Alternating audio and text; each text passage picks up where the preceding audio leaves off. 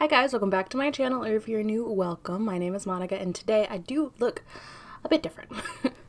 I don't have any makeup on, I actually just got out of the shower and just did my skincare, and I found a few minutes for me to film. I've been really busy, December is like my busiest month, so I found a few minutes to film, and I thought, you know what, let me just throw on this new wig that I got during a Black Friday sale. Throw a hat on, because I literally haven't even like cut the lace yet, but I just wanted to test it out and see how the color looks, and I didn't want to do makeup with it first, because I really don't know how makeup's gonna look with this color. But honestly, I think it's so cute. It's like a pale kind of lilac pink, and I think it's gonna look cute. So once I actually like fix up the lace and everything, it'll look like a normal wig, I promise. But since I only have one, two, three, four, five, six palettes from Natasha Denona, I thought I would take this time to just go ahead and rank them for you guys. You guys have been loving this, um, I guess I'm calling it a series where I rank different brands in my uh, makeup collection, specifically just for eyeshadow palettes. And I think I'm, once I hit like three or four videos, I'll create a playlist. So if I already have a playlist, I'll throw it up. If not, keep an eye out because the playlist will be coming. Like the rest of the videos, I have pre-ranked these palettes just to make it a bit easier for me to go through all of them. So let's just jump in. Coming in right down at the bottom is my most expensive palette in my entire collection, and that is the Green Brown palette. This thing is huge. It's the 28 shades but it is gorgeous. I can't even like fit the whole thing in the frame. so this is a gorgeous palette. Did I need this? No. I began lusting after this after I saw a YouTuber I used to watch. I don't watch her really much anymore. She used this for her wedding day. And she was the one who like really hyped up the Natasha Denona palettes and the formulas. And I saw this palette and I was like, I love greens. I could work with browns. Yes. But I got it and I I rarely reach for this and touch it, especially for the price point. Like I should be using this daily for the price point. This is like $250. but I don't and just yeah this is like my biggest makeup regret. I should not have bought this. I kind of wish i had returned it but you know what? I'm gonna hold on to it. Learn from it. Try to reach for it more but it is my least favorite palette from natasha denona and my most expensive in my collection so. Hmm. next i have another palette that i kind of regret purchasing just because i got it because of the hype but i don't reach for this color story like at all. At all and this is the Lila palette. So this is, of course, like the purple pink palette.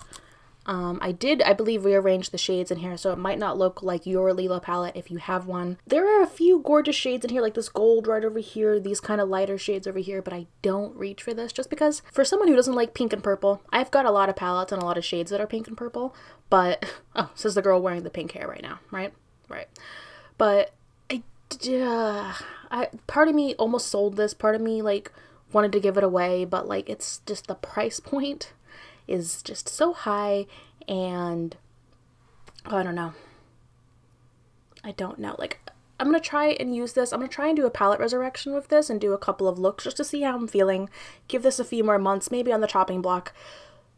But yeah, I don't regret it as much as that big green brown palette, but it's not one of my favorites. All right, next I have a mini palette that is only this far down on the list because I haven't really used it as much as the other palettes. So this is the mini gold palette. So this is like $25 and it really is mini if you compare it to my hand. It's about the size of like a finger.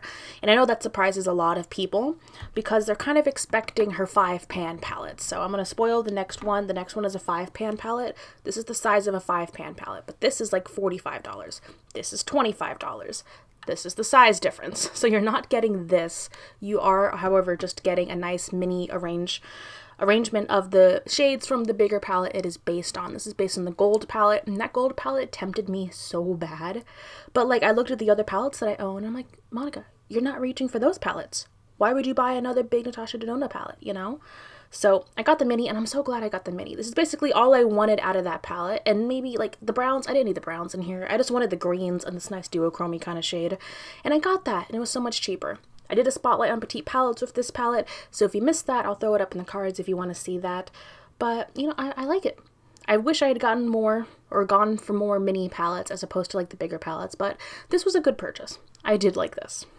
And like I said, it's only this far down the list because I, I did recently get this. I got it in October, so it's the newest one of the newest palettes in my collection, but I still really like it and I'm glad I got this and I do think it's a bit more affordable. Like I spoiled, the next palette is a five pan palette and this is palette number two. So it's a nice kind of just warm cranberry neutral palette. I also did a spotlight on Petite palettes with this palette. I'll throw that up in the cards if you want to see it. You really only get one or two looks out of this, but it is a gorgeous, quick, good look, honestly. Do I think it's worth the $45? Eh. I think if you want to try Natasha Denona and you want a little bit more than a mini palette, but you don't want one of the big palettes, get one of these basically gives you everything that you need. It's cheap. I mean, it is more a higher end price, but it's cheaper than her bigger palettes. So, yeah, I mean, I like it. It's right. It's like right smack dab in the middle, and I enjoy it. I don't reach for it as often as I would like to, but it is a good solid palette. Alright, next we have the palette that comes in number two, which has been a quick favorite of mine ever since I purchased it back in October, and this is the Metropolis palette. This has a lot of shades in here, but you do get a little bit less per pan. Let me compare this to the uh, Lila palette real quick. So as you can see, the pan sizes in the Metropolis are smaller than the Lila, but you do get more shades in here, and this is also a lot cheaper. Alright, so now before you come at me, that was a lie. I was thinking of the bigger palettes when I said that. So it is, it's got the same amount of shades as the 28 palette, that big one that was my least favorite in this series. But it's like half the price of that big palette. So it's 129 which is like half the price of that huge 28 pan palette, but it's got 28 pans. The pan sizes are just smaller. That's what I meant. I'm stupid. Bye. I really want to rearrange the shades in here. Um, I know a friend of mine on Instagram did rearrange all of this into a grungy rainbow and that just solidified how much I was drawn to this palette. The shades, the tones, I get like grungy subculture, like ColourPop good sport vibes out of here. This is unique in the sense that I don't think Natasha Denona really has anything else like this. And I am a bit sad that it's like limited edition because I really think this is a great, great palette. Um, I don't want to rearrange the shades until after I do my video on it, which will be coming soon, hopefully um, before it's no longer available. I really don't know how long it's going to be available for, but this is just such a good palette, and I can see myself reaching for this palette more than the rest of the palette. So like for me, this is unique. This was worth the price point. Alright, and last but not least, I talk a lot of shit about this palette, but I have to say, when this palette came out and kind of broke the makeup internet, I really wanted it. I was lusting after it. This is my first Natasha Denona palette. And ultimately, did I find other palettes that work just as well for lower price? Yes, I did. But this is still what got me into Natasha Denona. This is what got me into really, really warm eyeshadows. And I still think, like, I'll never declutter it, and it's still like my favorite Natasha Denona palette, and that's the Sunset palette. I spent almost a year wanting this and waiting for it to come back in stock. Because you know, when it first came out, it sold out like immediately. And it was actually sold out. And back then, it was limited edition. And so everyone was freaking out, like, we're not going to get the Sunset palette, no one's going to get it. So eventually, they restocked it, and I'm pretty sure it sold out immediately too. I, I remember this came out, I think, in the beginning of the year, and I had to wait until November to actually get it. And I got it during the uh, Rouge sale.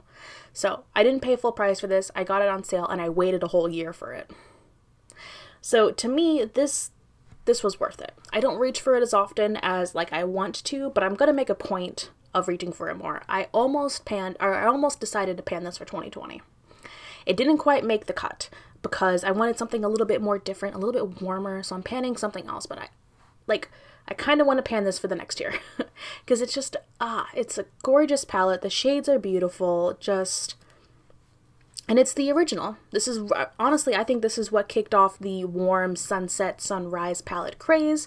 And then after this came out, you know, everyone and their mother came out with different palettes, including, you know, the ColourPop Yes Please palette, which is ColourPop's first palette that came out after this one. I talk about that a little bit more in my ColourPop video. I'll throw that up in the cards if you want to check that out.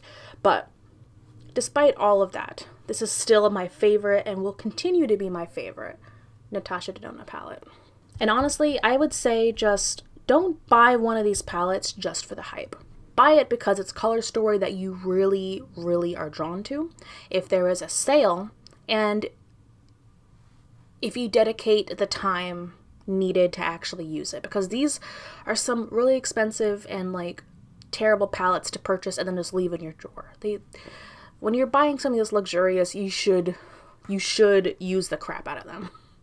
And so I'm trying to get a little bit better at that. So there we have it. Those are all of my Natasha Denona palettes ranked favorite to least favorite, least favorite to favorite. Let me know down below if you guys own any Natasha Denona palettes, which one is your favorite, and if you like this wig. I'm going to be working on it. I know I got to like pluck it and get rid of the lace and everything, but I've learned the hard way that trying to dye my hair doesn't work out well. So instead, I tried to just get some wigs and try new things out. So thank you guys so much for watching, and I cannot wait to see you in my next video. Bye. He was a skater boy, she said, see you later, boy. He wasn't good enough for her.